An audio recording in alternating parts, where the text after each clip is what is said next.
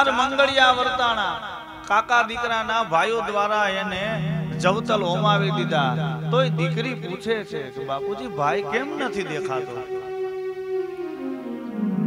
ઘણી વાર એને પૂછ્યું.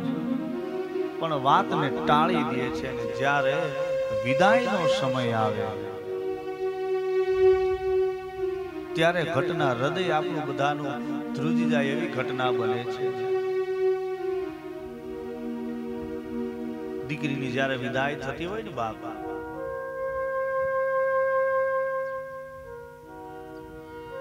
મંડપની અંદરથી ગોરદાદા અવાજ કરીને કહે છે કે જાનનો વિદાયનો સમય આટલા શબ્દો દીકરી કાનમાં સાંભળે અને દીકરીને હૃદય ધ્રુજી જાય છે કે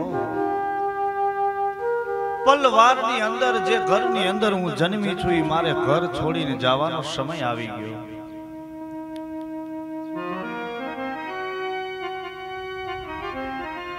દીકરીને એની બેન અને એની માતા કહે છે કે બેનબા હાલો, હવે વિદાયનો સમય આવી ગયો છે. દીકરીની આંખમાં અસુરની ધારા છે અને કહે છે કે, માં, હું સાસરે નહીં જાઉં. માં ઘણું સમજાવે કે, બેટા, જાનનો વિદાયનો સમય તો કે નહીં માં, હું સાસરે નહીં જાઉં. કેમ બેટા ના પાડે તો કે બસ, હું સાસરે નહીં જાઉં. એની બેનો એને કહે કે, બેન, હાલો. જાન વળાવવાનો સમય, વિદાયનો સમય છે. દીકરી ના પાડે એમાં કોઈ દીકરીએ જઈ ડાયરાની અંદર દીકરાનો, દીકરીનો બાપ બેઠો છે. ને ડાયરાની અંદર જઈને કોઈ દીકરીએ કહ્યું કે, કાકા, આવો ને જરા. કેમ? તો કે બેન બા સાસરે જવાની ના પાડે છે. એ ડાયરામાં દીકરીનો બાપ ઊભો થાય ને બે હાથ જોડીને કહે છે કે હમણાં થોડી વારની અંદર આવું. એ ડાયરામાંથી દીકરીનો બાપ ત્યાં દીકરી રૂમની અંદર છે, ત્યાં જાય અને દરવાજો ખોલે, દીકરીની સામે જાય ને દીકરી ગડગડતી દોટ મૂકીને એના બાપના ખંભા ઉપર માથું રાખીને કે, પિતાજી, હું સાસરે નહીં જાઉં. કેમ બેટા? કેવી રીતે મારે સાસરે જવું? મારે પોતાનાને છોડી અને પારકાને પોતાના કેવી રીતે કરવા?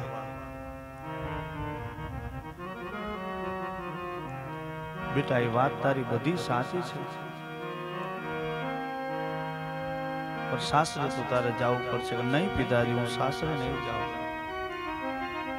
કેમ આ ઘરને બોલું અઢાર અઢાર વર્ષ સુધી હું રમીના આંગણાની અંદર મોટી થઈ છું પિતાજી.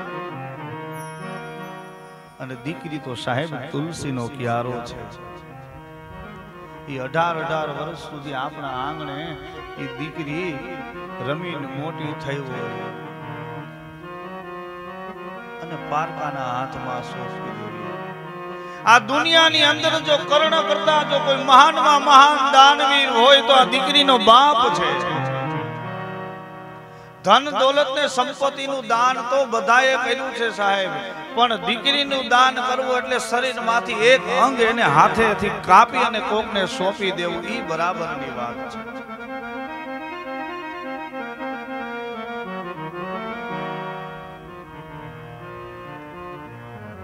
દીકરીને ઘણું સમજાવે, પણ દીકરી રડે છે કે, પિતાજી, હું સાસરે નહીં જાઉં. અંતે દીકરીનો બાપની આંખમાંથી આંસુ આવે. માથેથી પાઘડી ઉતારી દીકરીના પગમાં પાઘડી મૂકે ને કહે છે કે, બેટા, હવે તારા બાપની આબરૂ તારા પગમાં છે. હવે તારે જે સમજવું એ સમજે એટલું કહેતા દીકરી એના બાપને ભેટી પડે ને ધ્રુસકે ને ધ્રુસકે રડવા લાગે ને કહે છે પિતાજી, આ ગામની અંદર ને સમાજમાં કોઈ દિવસ મેં તમારી પાઘડીને ઠેસ નથી લાગવા દીધી. તો આજ અંત વેળાએ શા માટે હું ઠેસ લાગવા દઉં?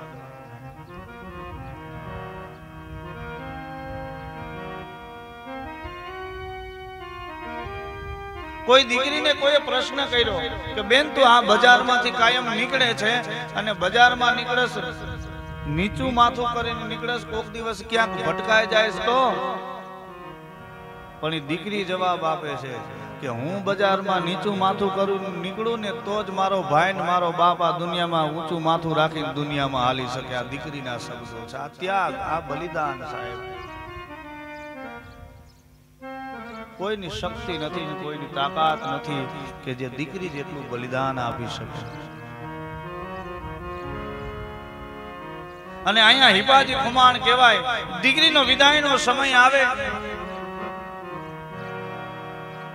દીકરી આમ તેમ બધાને મળવા માટે, છેલ્લા છેલ્લી વેળાના રામ રામ કરવા માટે બધાને મળે ત્યારે રડતી આંખે દીકરી એના પિતાજીને માથે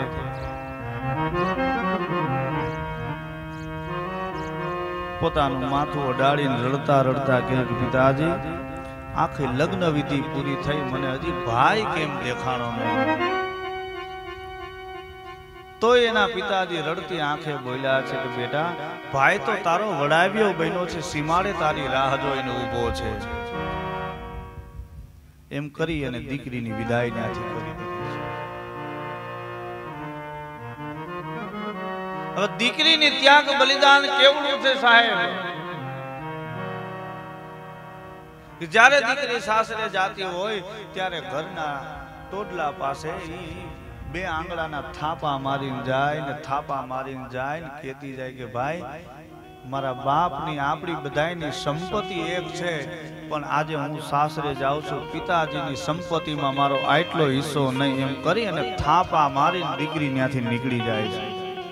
અને આપણે દીકરીને દેવાનું છે શું? સંસ્કારોનો કર્યાવર દેવાનો છે સાહેબ. કાલે કે પરમદીએ કહ્યું હતું કે જ્યારે તમે કન્યાને જોવા માટે જાઓ તો એના સ્વરૂપની અંદર મોહ ન રાખશો, એના સ્વભાવની અંદર મોહ રાખો. એ દીકરી ત્યાંથી વિદાય થાય. ગામના સીમાડે જઈને પહોંચે અને ગામના સીમાડે જોવે તો વડાવ્યા તો કાકા મોટા બાપુના દીકરાઓ બધા છે અને એને વાત કરી કે ભાઈ ક્યાં છે? તો ઈ બંનેની વચ્ચે ચર્ચા થાય અને અહીંયાથી દીકરીની વિદાય થાય અને દીકરા ત્યાં બાપની જે હાલત હોય ને સાહેબ, ઈ બહુ જોયા જેવી હોય છે. હૃદય મારું તમારું ધ્રુજી જાય. જ્યાં સુધી દીકરીની વિદાય થતી હોય, ત્યાં સુધી દીકરીનો બાપ રડતો ન હોય અને જેવી દીકરી એ લગ્ન મંડપ છોડે અને બધાને વળાવે અને દીકરીને વળાવીને બાપ જે લગ્ન મંડપ થયો હોય, લગ્નના મંડપના થાંભલાના પકડી અને દીકરીનો બાપ રડતો હોય ને આ દ્રશ્ય જોયા જેવા હોય. દીકરીની સામે કોઈ દિવસ આંસુ ન પાડે.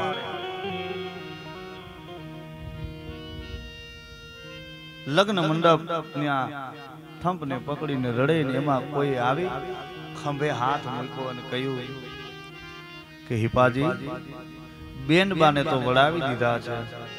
હાલો, હવે ભાઈની વિદાય આપણે કરીએ. હવે દીકરીના બાપ માથે વેદના કેવડી થઈ છે. એક તો એની દીકરીની જાન સીમાડે આવી. એ પેલા એક ને એક દીકરાનું મૃત્યુ થઈ ગયું છે. ઘરની અંદર મયત પડ્યું છતાં એને માંગલિક પ્રસંગ કર્યો છે. મારી તમારી કોઈની તાકાત નથી, એટલે ઇતિહાસના પાને એના નામ છે ને એના ગુણગાન આજ વ્યાસપીઠ ઉપરથી અમે બધાય ગાઈએ છીએ. એવડા બલિદાન વિધાન, એવડા ત્યાગ કર્યો છે.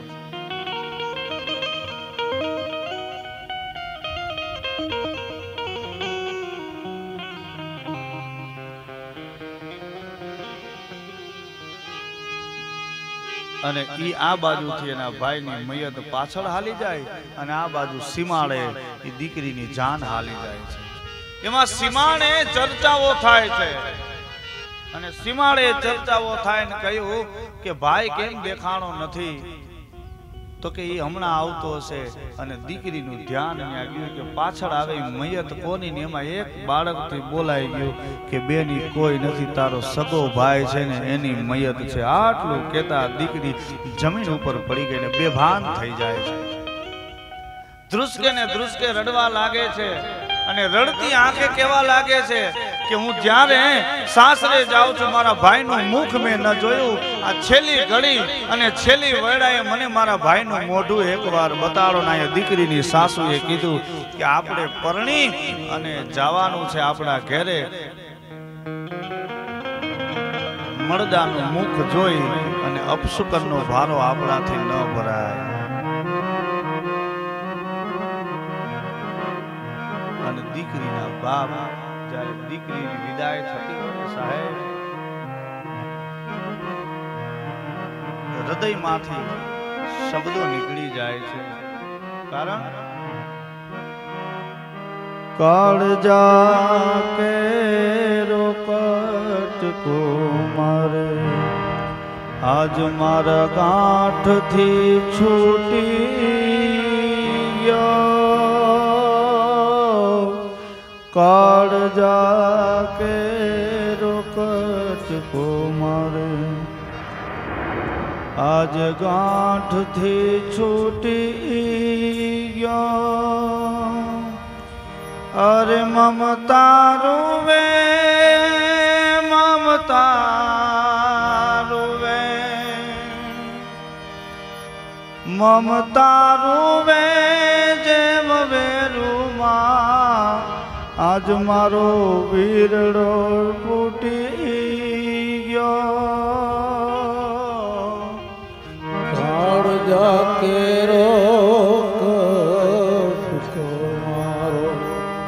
ગાંઠથી છૂટી ગયો. લૂંટાઈ ગયો મારો લાખ. એ આવ્યો મમતા રૂવે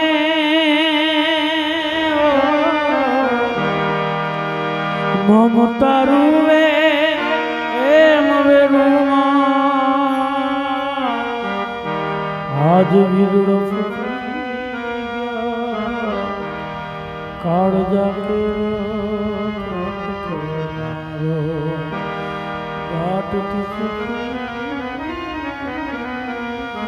જાન ગઈએ મારો જાન લઈને. સુનો આજ માંડ એ જાન ગઈએ મારો જાન લઈને. સુનો માંડ પછી ડગલે ને પગલે